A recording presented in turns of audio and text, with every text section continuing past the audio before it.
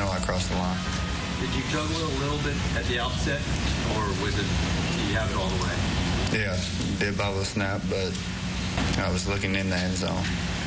All right, Gary, let's do some Monday morning quarterbacking here. Colin swears he crossed the line.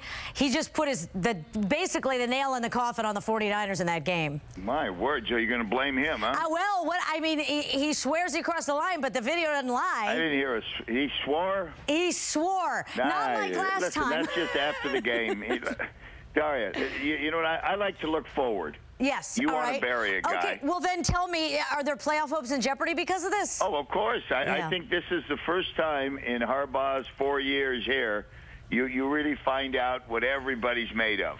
And, Yeah. and by that I mean, yeah, there were some disappointing losses in the playoffs and once in the Super Bowl, but not this early in the season when you're four and four and you're three games back of Arizona in the division.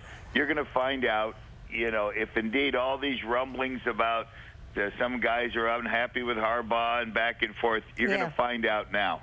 All right. Did we You know what I'm saying? I mean, yes. this is where you either, at this point in the season, you either pick it up and, and make a nice uh, uh, run towards the finish, or you cave in. Or this was it. So, okay, on another note, did we find out uh, who's better in the eternal question of Brady or Manning? I like to call it Ginger or Mary Ann, but Zito says, no, it's more like Coke and Okay. Pepsi. Thank It's you, Gilligan's Island. I know. I was like, Ginger, Mary Ann. He, he says, who are they in that scenario? I said, okay, fine. He, he says, Coke and Pepsi. They're both good, and you got a soda at the end of the day. Yeah. But uh, who's going to refuse either one of them? I mean, but here we see that Brady wins. But uh, yeah, it, you know, Zito's a. By the way, the best producer we, we we've had here in the in the 30 years I've history been of here cro- Zito. He's terrific. He is. But but I, I believe, What, it- what? have Zito correct me, that the 16 times they have played each other, Yes. Brady has won 13, But Brady has 11. 11. Brady has 11, and and And how many for uh, uh, Peyton? he and and Manning has five. Okay, it's 11 to 5 then. All right. So you know, the, and you, there you got to say to the numbers lie. I, but either way, I think the question is moot. It doesn't really matter. Ginger and Mary Ann are both beautiful. Coke and Pepsi are both delightful. You, you know what got me yesterday? while you're while you're trying to do pop culture, Yes. I'm keeping it between the lines. Yes. When, when I woke up yesterday, I flip on the TV and they're talking about the big game, and there was a snowstorm in New England. Oh yeah. I mean, it was a whiteout. Yeah, And yet, by game time, they played. Look, well, you're looking at the conditions. It looked fine. And they talk about Brady and how he cuts through the wind and how it doesn't seem to bother him at all. And I, you're going to argue with either one of them. Look, who are you going to bet on now? Next next game, it's Manning versus the Raiders. So yeah. you know. And, and here's the deal too. Uh, Brady's been to five Super Bowls Yep. and won three. Peyton's got one Super Bowl win. So Be- yeah, right now Brady. Listen, Yeah. uh, it all depends at the end of the year who's standing. But right now Brady's uh, the boss. So, so we'll see Manning take on the Raiders, and the Raiders, we saw them lose again. And Zito's question to you this morning is, are they the best uh, 8 0 and 8 team ever? Because they looked better. They looked better. I- Yeah, yeah, they're better. I, I wouldn't say. Well, I remember the uh, Chicago Cardinals back in 1962 started slow. Did, did they look? Did has any team looked this good sucking? You know what I mean? Yeah, no, I, I don't.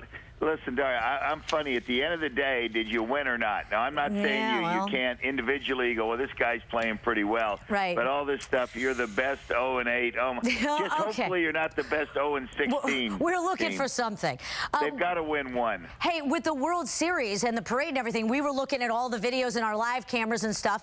But there was um, a, there were a couple of things that we didn't get to focus on. Number one is now this morning we could focus on what's looming, which is Panda. So what do you think? I mean, Did you call him Sandoval? Okay, but I listen. The guy wants Pence money, like at least 90 million over five years. That's a lot of bamboo. Is he worth it? Well, if you're going to give it to Pence, you got to give it to him. And and I'd even go uh, a step further, you know, and say give him five years, give him a hundred, just to show him, you know. Listen, that when Pence got it, they had what one World Championship under their belt, and now they've got three. Thanks to Panda, right? Well, uh, uh, he's, he's, he's certainly right near hits. the top. Yep. Because he responds when the stakes are the largest, and Yeah. that's something you can't teach. You know, you can't say, well, work hard, work hard, so when we get to the playoffs, you'll be better. No, no, no. You you just either have it or you don't on the big, the old big stage. and he has it. So it's 8:59 is the deadline for the Giants to make an offer he can't refuse. Like then everybody, the Red Sox. 8:59 when? Eight, tonight, our time. Yeah, but what they do is they offer him like 15 million. Yeah. And no, no, seriously. Right. And then the, the, it's like a little dance. They offer it's a qualifying offer. I see. And then they automatically turn it down. No hard Okay. feelings on this one. Okay. All right. You know what I mean? And- you just turn it down. Yeah. And then And- you go from there. So, and then uh, the other thing that our cameras missed with all our live cameras in the parade, Gare, was turns out, I guess Hunter, I, I guess uh, uh, Bumgarner wanted to ride a, uh, a police horse in the parade. Remember we saw him with the cops taking pictures? Yeah. Matier and Ross in the Chronicle had this picture. So the cops, because they didn't want him to fall off, they did let him get on and take a picture. But I thought that was adorable. Yeah, no, it was cute because Greg Suhr, we found out the uh, chief of police, thought for a moment, and then he said, "Boy, if he ever fell off, oh my gosh." He would hurt his bum. And I do have your Mad Bum undies on right now. I want to thank you again for giving me the jockey undies. I don't understand why there's a pocket here. I don't really need a pocket in the front. Yeah. But I do have the Mad Bum. Believe me, my wife Felicia goes, "Thanks a lot. You're you do have them on. You're oh my gosh. Oh, geez. Too bad. Terrible. All right, see you later, Gary. All right. Oh.